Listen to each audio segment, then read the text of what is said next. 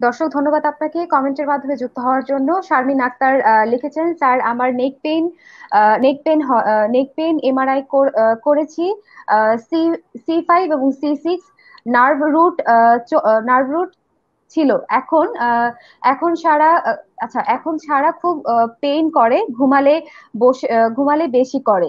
কি করব? হাতে পেইন আছে পায়ে পেইন আছে। স্যার, শারমিন আক্তারের জন্য। বয়স আঠাইশ বছর। দেখুন, শারমিন আক্তার, আপনি বয়স আঠাশ বছর, আপনার তিন বছর ধরে এটি ব্যথা। এখন সি ফাইভ এবং সি ফাইভ রুট এইটা যে আপনি বলেছেন যে এমআরআই করাটা, প্রথম কথা হচ্ছে যে এমআরআই করাটা কতটুকু যৌক্তিক ছিল। এমআরআই আমরা তখনই করি যখন আমরা বুঝব যে স্পেসিফিক কোনো নার্ভের লেশন আমার কাছে মনে হচ্ছে।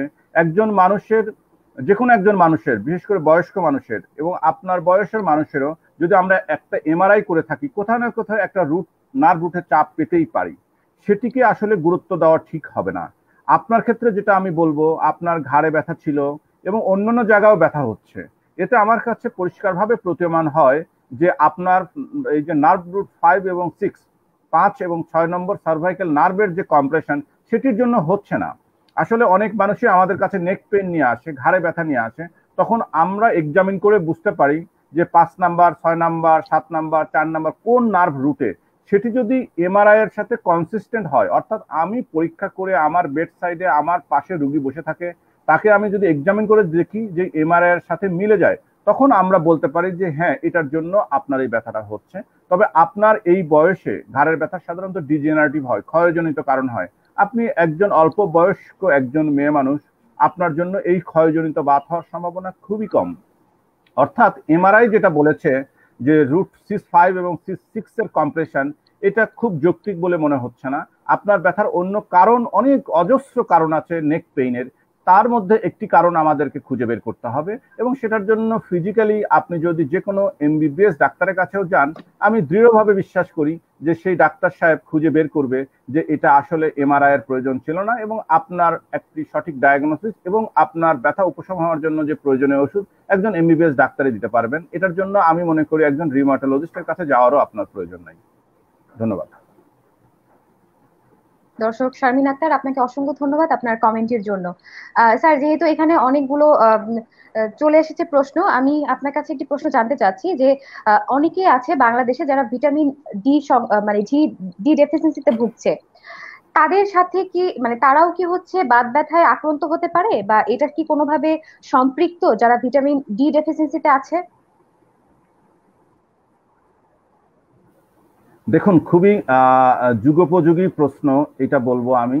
কারণ ভিটামিন ডি এটাকে এখন বলা হচ্ছে এরা of vitamin D. Vitamin D এর একটা জামানা চলছে। আমরা ডাক্তারের কাছে গেলে বিভিন্ন জায়গায় দেখছেন, সবাই ভিটামিন ডি পরীক্ষা করাচ্ছেন। যদিও এটা কস্ট পাচ্ছেন। আচ্ছা ভিটামিন ডি এর সাথে বাত ব্যথার অবশ্যই একটা সম্পর্ক আছে। ভিটামিন ডি এর অভাব হলে যেটা হয় সেটি হচ্ছে বাচ্চাদের যেটা হয়, সেটাকে আমরা বলি রিকেট এবং বড়দেরকে আমরা বলি, বড়দের ভিটামিন ডি এর অভাবে যে রোগটি হয়, সেটাকে বলা হয় অস্টিওমেলাসিয়া এই রোগের প্রধান বৈশিষ্ট্য হচ্ছে আমাদের রুগীদের একটু ফ্যাটিগেবিলিটি থাকে, আমাদের বোন পেইন হয় মাসল পেইন হয়, বসা থেকে উঠতে অনেক সময় কষ্ট হয় ডিফিউজ সারা শরীরে ব্যথা হতে পারে। অর্থাৎ আপনার এই ভিটামিন ডি যদি বাচ্চাদের হয়, রিকেটের নাম আমরা সবাই শুনেছি এবং অস্ট্রোমেলাসিয়ার নাম আমরা না শুনলেও যেটা আমরা বলি যে অস্ট্রোমেলাসিয়াতে রুগীদের মাংসপেশির ব্যথা, হাড়ের ব্যথা, শরীরের খারাপ লাগাটা এগুলো হয়। এবং এটি মজার বিষয় হচ্ছে যে এটি ভিটামিন ডি সাপ্লিমেন্ট যদি আমরা পর্যাপ্ত পরিমাণ দিতে পারি, যে সঠিক পরিমাণে ভিটামিন ডি যদি আমরা রুগীকে খাইয়ে দিতে পারি, তাহলে এই ব্যথার উপশম হয়।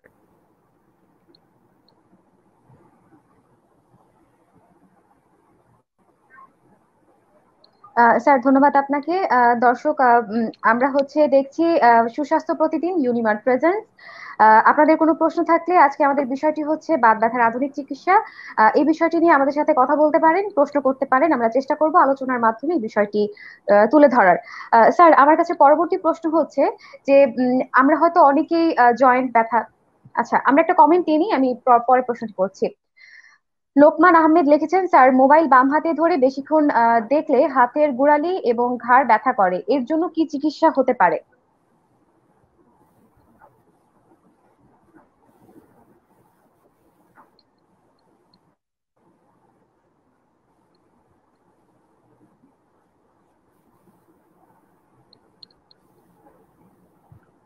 হ্যাঁ প্রশ্নটি প্রশ্নটি আমি পেয়েছি। প্রশ্নটি হচ্ছে যে উনি অনেকক্ষণ হচ্ছে মোবাইল হচ্ছে উনি বাম হাত থেকে যখন অনেকক্ষণ দেখে।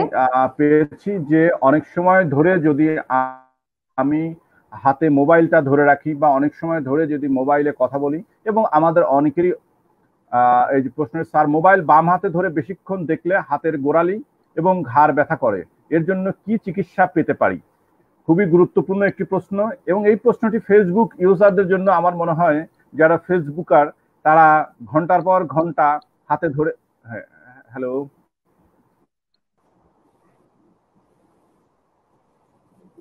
জি, আমি কেয়া শাপলা প্রশ্ন করেছেন, ইউরিক অ্যাসিড বেড়ে যাওয়ার সাথে কি বাত ব্যথার কোনো কানেকশন আছে?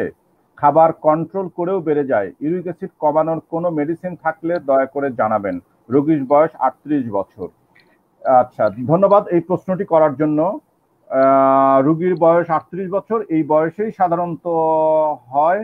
বিষয়টা হচ্ছে ইউরিক অ্যাসিড বেড়ে গেলে এক ধরনের বাত ব্যথা হয়, যেটিকে আমরা গাউট বলে থাকি।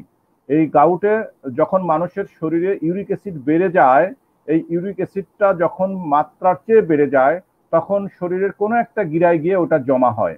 যেমন বিশেষ করে যে পায়ের বৃদ্ধাঙ্গুলের গোড়ায় গিয়ে এটা জমা হয় এবং সেখানে প্রদাহজনিত বাত হয় এবং এটা, এটার একটা বিশেষ বৈশিষ্ট্য আছে। এটি হঠাৎ করে হয়। যেমন আপনি ঘুমিয়ে আছেন, সকালে দেখবেন আর পা তুলতে পারছেন না।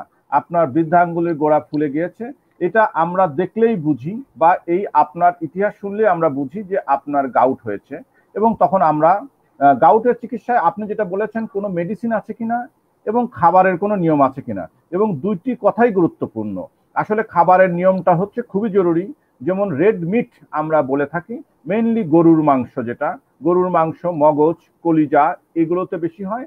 এছাড়া সিফিশ সামুদ্রিক মাছ, এছাড়া আরও কিছু আছে, যেমন অ্যালকোহল এগুলো খেলে আমাদের গাউট মানে গাউটের রুগীদের এগুলো খাওয়া নিষেধ বা আমরা লিমিট করতে বলি। আর এই গাউটের জন্য মেডিসিনের কথা যেটা আপনি বলেছেন, সেটি অবশ্যই প্রয়োজন আছে।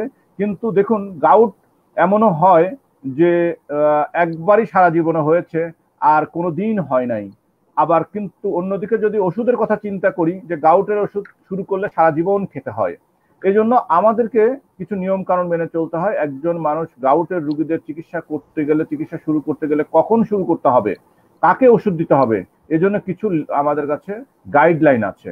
অর্থাৎ এমনটি যদি হয় যে আপনার বছরে দুইবারের বেশি অ্যাটাক হচ্ছে, তাহলে আপনাকে ওষুধ শুরু করতে হবে। কি ওষুধ? একটি হচ্ছে ইউরিক অ্যাসিড কমানোর জন্য। আপনার রক্তে ইউরিক অ্যাসিড কমানোর জন্য এক ধরনের ওষুধ আছে। আর আরেকটি ওষুধ আছে যে ইউরিক অ্যাসিড কমাতে তো সময় লাগবে। ধরুন তিন মাস, ছয় মাস লাগবে। এই সময়ের মধ্যে তো আবার আপনার গাউট অ্যাটাক হয়ে যেতে পারে।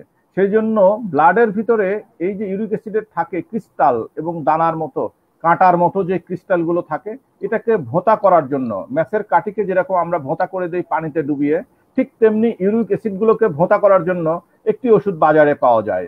অর্থাৎ ইউরিক অ্যাসিড কমানোর ওষুধটা খেতে যতদিন লাগবে, অর্থাৎ ইউরিক অ্যাসিড কমায় একটা লেভেল পর্যন্ত আনতে গিয়ে যাতে এই সময়ের মধ্যে আপনার গাউটি অ্যাটাক না হয় সেই জন্য আরেকটি ওষুধ পাওয়া যায়, কোলকিসিন বা টোলকিসিন, যেটাই বলেন বাজারে পাওয়া যায়, এটি ওই দিন পর্যন্ত চালাতে হয়। অর্থাৎ দুই ধরনের গাউটের ওষুধ অন্তত মানুষের খাওয়া উচিত। এর পাশাপাশি আপনি যে কথা বললেন, খাওয়ারের যে লিমিট খাওয়ারের যে নিয়ম কানুন এটি অবশ্যই মানতে হবে। আপনি ওষুধ খেলেন, কিন্তু আরেকদিকে গরুর মাংস প্রতিদিন খেয়ে যাচ্ছেন, অ্যালকোহলও খেয়ে যাচ্ছেন, তাহলে আপনি আপনার হবে না। সুতরাং প্রত্যেকটি জিনিসকেই আমাদের একটা নিয়মের মধ্যে আসতে হবে। এবং পাশাপাশি আরেকটি কথা না বললেই নয় যে আপনার ওজন কমাইতে হবে, আপনার ওজন যদি বেশি হয়, এটা একটি পরিষ্কার যে একজন মানুষ ওজন ওবেজ আর নন ওবেজ বলি, মোটা মানুষ এবং পাতলা মানুষ, এর মধ্যে চার গুণ বেশি হয়। যারা ওজন বেশি, তাদের মধ্যে গাউটি অ্যাটাকটা অন্তত চার গুণ বেশি হয়। সুতরাং ওজন কমানোটাও আপনার জন্য একটি গুরুত্বপূর্ণ বিষয়। ধন্যবাদ।